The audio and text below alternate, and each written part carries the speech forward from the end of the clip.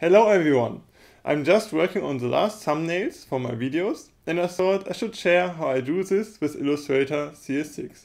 So, here we go! Custom YouTube thumbnails are a great way to grow your audience and to get the people interested in your videos.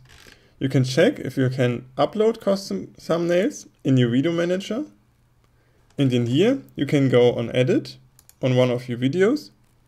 And if you see this button here, custom thumbnail, you can upload custom YouTube thumbnails. However, keep in mind they shouldn't be bigger than 2 megabytes. We create a new file in Illustrator and we will choose for web. And in here we want to choose a right aspect ratio. And this should be the aspect ratio actually of the YouTube thumbnails themselves. Warning. I just realized I put 800 in here, this is wrong. The HD resolution should be 1280 times 720. So make sure you use 720 if you create your thumbnail. We also don't want to align them to the pixel grid. And now we can click on OK. Here we have our basic thumbnail.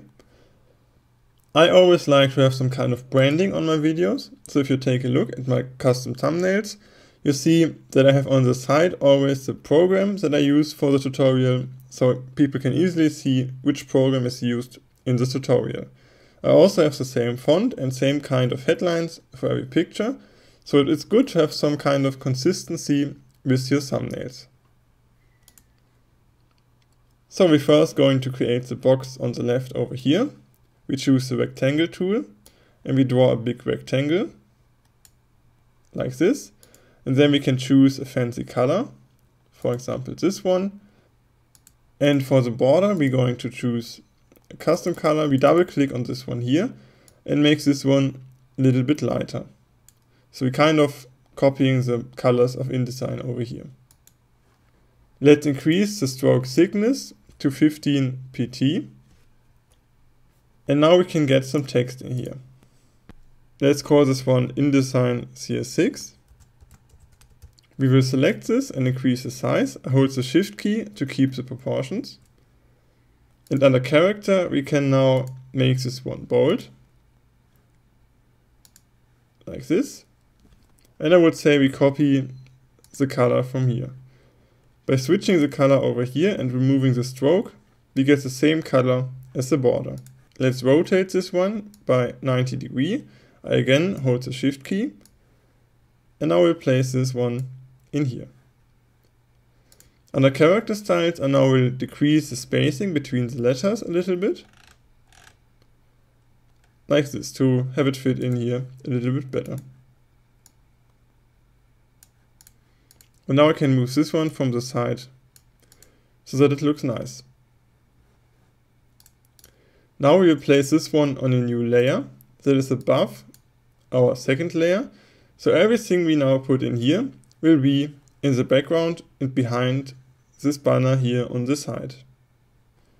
Now it's time to take a look at a video where we want to make the thumbnail for. In this case, I have this TUC video I have done a while ago. And if you're on the Mac, you can just hit the space key and this will open a preview of your video.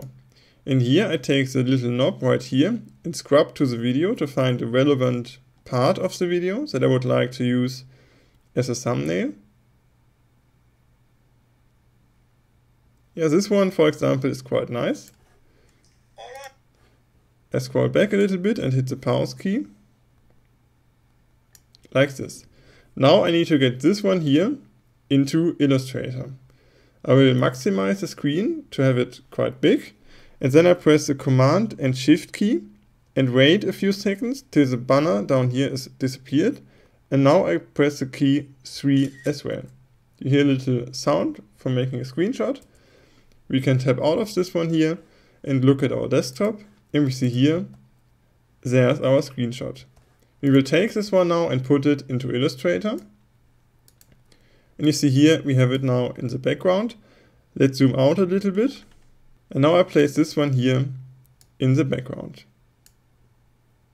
Let's maybe move the InDesign a little bit more to the side. And also we decrease the size of the box a little bit. And this should be fine.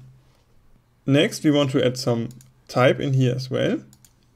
So we call this one TOC and TOC. Again, I hold the shift key while scaling to keep the proportions. And now I'm going to add a border to this one, a white stroke. Let's say it should be 5 pt big to give it a little bit separation of the background. We can also make this slightly bigger. But now to have it blend in less with the background, we're going to add also a square behind this. And we don't want to have a border for this one, and the color should be white. We will send this one to the back. Send backward. And we put the opacity down to, let's say, 30%. Maybe 40 is better. Like this. So it's a little bit more separated from the background. If you compare the before and after effect, you see the difference. In the video tutorial I'm making the thumbnail for, it's really about the details you see here. The list of figures and list of tables is included in the TOC, so I want to emphasize this. For doing so, we're going to take the ellipse tool and then draw an ellipse around the part here.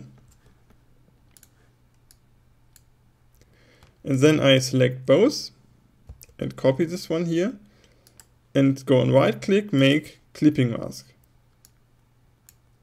Now I select my first circle and I give it a nice stroke and I remove the fill.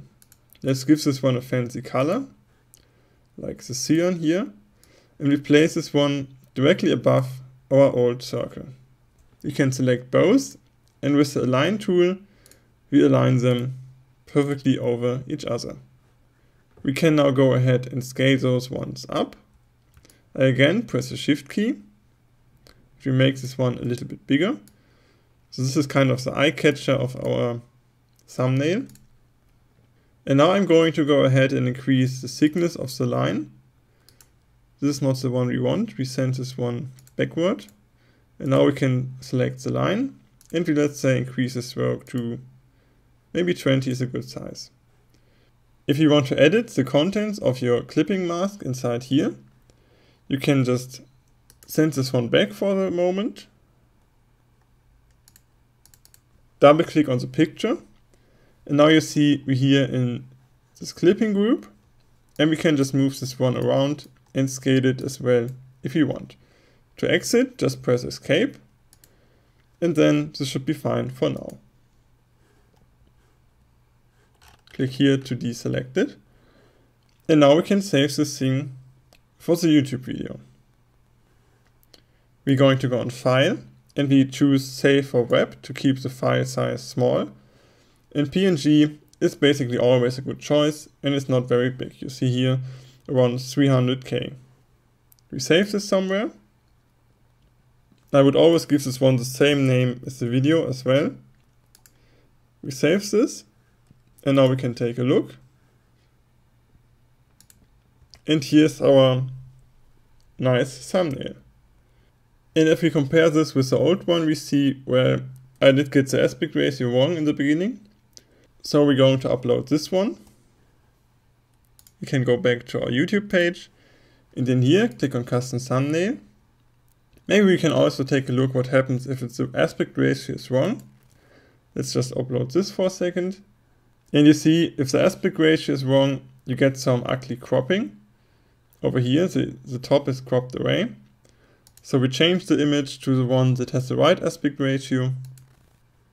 And you see, this looks quite better. We're going to save our changes, and it will take some time till the new thumbnail is applied to all of your video previews, because YouTube need to process it. If we go now back to Illustrator, if you have done this in the wrong aspect ratio as well, you can click on this one here and change the aspect ratio. In this case, you would need here 720. And we click just enter and you see here the aspect ratio gets corrected. Now you can change all the things that they fit again. And basically you would now save this template for all your other thumbnails. And then you can just delete the things over here like this and I would always lock the InDesign layer on the side and you can use the same template for all your videos to get a consistent thumbnail layout. Alright, and there we have our nice custom thumbnails. If you enjoyed this video, why not give it a thumbs up. Until next time, bye bye. Nice thumbnail. Also, here